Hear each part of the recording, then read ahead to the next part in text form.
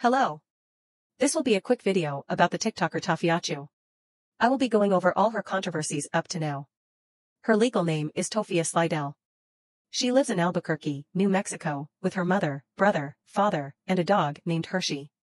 She used to work at Dunkin' Donuts, but was fired for smelling bad. Tophia started her TikTok career back when it was still Musical.ly. She has over 300,000 followers and posts typical TikTok videos. Other social media profiles are her YouTube channel, where she barely posts, and her Instagram, where she is active. I'm going to start off with how she is an e-beggar. For the longest time, Tophia claimed social media was her job. She claims to make thousands from TikTok, but we know that's not true. Especially since she asks people to send her money. These days, she doesn't directly ask for money, but before, she did. In late 2022, Tophia was on the verge of eviction due to unpaid rent and swats sent from trolls. Tophia begged for donations and even created a GoFundMe. She raised enough to cover some of the rent, but it turns out she didn't. On her Instagram, she posted photos of her at Comic-Con after achieving her goal, and people were furious. People who supported Tophia through her living situation turned against her after finding out that she spent that money on Comic-Con tickets. Somewhere in January of this year, Aunt Karen, another TikTok influencer, went on live with Tophia to explain her controversies. The first thing they talked about was the GoFundMe scam. Tophia claims that when she went to pay the rent, her landlord didn't take it because they wanted the full amount as a split payment. I think they had $1,000 saved and needed to pay $3,000. Tophia, though, didn't save that $1,000 to the side because she was on a COVID relief plan that would help cover her rent. All I can say is that this woman has poor money management. Even if you are sure your rent will be covered, you shouldn't have spent that $1,000 on some goddamn tickets. She could have saved it as an emergency, but no. Tophia made racist comments against black people and Mexicans. In an old life of hers, Tophia made a comment about how she doesn't consider herself a burnt color. So anybody that wants to post a video saying that I'm racist towards black people and I'm black, that's not racism. I don't consider myself a burnt color. Okay? When you look at things, it's African. When you look at it, it's African American. So anybody She is insinuating that black people with darker skin tones are burned, which makes her a colorist. I want to note that many people believe she is lying about being half black because her father is her stepfather, so she's just straight up racist. But it doesn't matter to me personally because the comment is messed up either way. Tophia claims that someone asked her a question about burnt tortilla chips, and this person said she was a burnt color, but that doesn't make any sense. Before making the comment, she mentioned black people, so she was talking about race. Now her racist comment against Mexicans also took place in her life.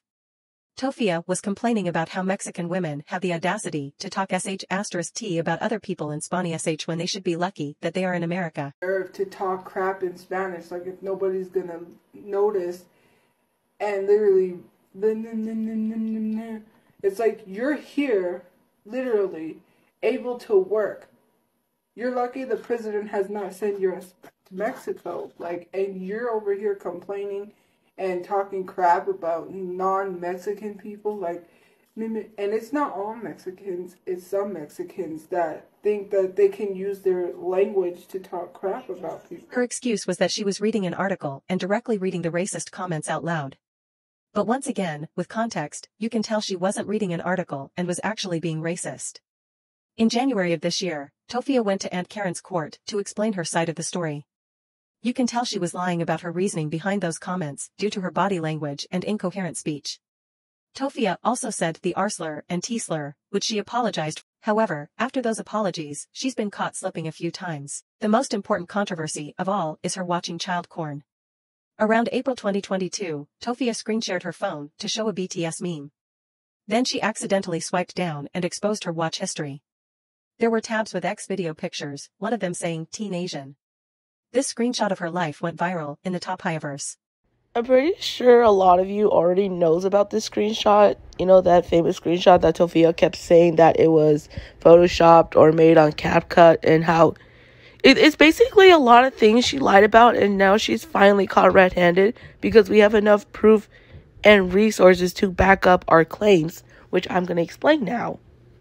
When you own an iPhone, we all have this feature, the caption feature, where it shows the date, the time, the files, and the screenshot of what it is. Now, I just want you to keep a close eye on the date and time because here's a screenshot of someone asking Tophia, hey, do you have a live replay of April 4th? And this is what she says. Tophia can't even read at all. This person was clearly asking for a live replay of April 4th. And here she is saying, like, oh, I don't have any history of April 4th. So, Tophia, someone screen recorded your live stream from April 4th. I really don't want to help. I feel like you just want me to not win.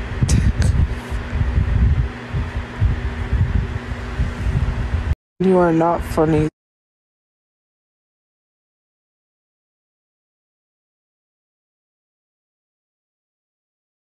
Yep, there you go. April 4th.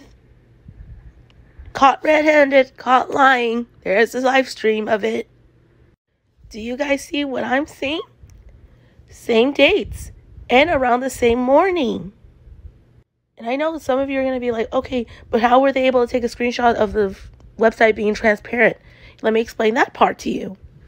Someone did it to themselves and they said this is called a transition. This happens when you're switching tabs. And Sophia was happened to switching tabs to a brand new tab and it's transparent to show her original tab. Sorry, her Safari tab. Sophia has been caught watching X videos like so many times, it's like hard to keep count. But she just won't admit it and says like, oh, those videos are just probably edited or cropped to make it look like I was doing it. But no, we finally did it.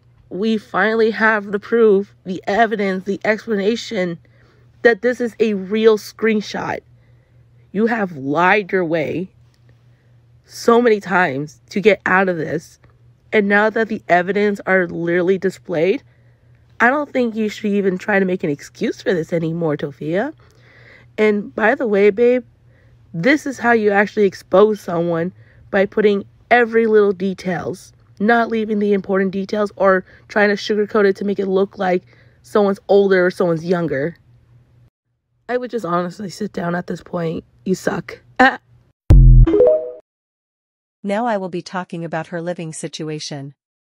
Anyone in the Chuverse will know now that this woman and her family have been struggling to stay in a permanent place. For the longest time, trolls have doxed, swatted, and raided Tophia's apartment since last year. In one incident, her apartment was tear-gassed, and they had to stay at a homeless shelter. They even sent noise complaints to the police, their landlord, and even got their neighbors to report the Slydells. This was part of the reason why they got evicted, the other reason was unpaid rent, which I will get into. So Tophia's stepfather, Donald Slydell, or Papa Chu, is diagnosed with schizophrenia. His illness is serious and causes him to say and do extreme things. I explained how problematic his behavior was on the internet, but in real life, he seems to put the family in danger multiple times.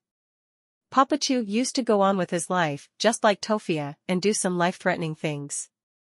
He would start fires in the apartment, put tape on the walls, and lay cardboard on the floor.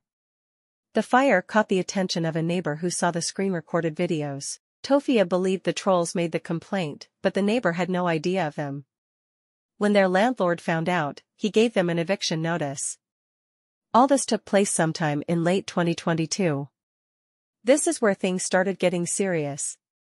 In Aunt Karen's life, Tophia explained the living situation, which is kind of confusing to me, but I'll try to explain it the best I can. Papa Chu was starting fires in the apartment, which he did. Their neighbors found out and complained to their landlord about it. Side note, Tophia was convinced the trolls told the neighbor to report them, but they have never been contacted by them. This was actually the last straw, so the landlord gave them an eviction notice. But they came to terms, they could move out whenever they wanted, as long as Papa Chu left the premises. They also had to go to court for unpaid rent. According to Tophia, they weren't given a court date. Apparently, New Mexico has a law that says tenants can still stay in their homes if they aren't given a court date, so the family found a loophole to stay longer. They had to pay $3,000, so Tophia created a GoFundMe and raised about $1,000. When she went to pay, the landlord wanted $3,000 up front and not split payments of $1,000. Tophia applied for a COVID relief program that would help cover the rent and was convinced that she didn't have to do anything. This is where she messed up, instead of saying that $1,000 was on the side, because, you know, anything can happen, she spent it on Comic Con tickets. Supporters of Tophia, people who were fans and genuinely felt bad about her situation, were furious when they found out. Honestly, this woman has poor money management. She was finally evicted sometime after the second court session with Aunt Karen. I would say in the summer, though I can't find a specific date. Now, where have they been staying since then? So the first place they were was in a homeless shelter. Their stay was short, though, they found an extended hotel. As usual, trolls found the location and left negative reviews in order to get Slydells kicked out. Now it's not like they actually went searching for her location. She literally posted the keys to this motel on her Instagram story. This woman never learns. After that, they went to another extended motel. Papachu wasn't staying with them, Tophia claimed he was in a safe place, but he was actually wandering the street and has been arrested. He is currently sitting in a jail cell. As of now, they have left the motel. From what the trolls are saying, the family stayed at a shelter called Safe House, but left after being there for like a day.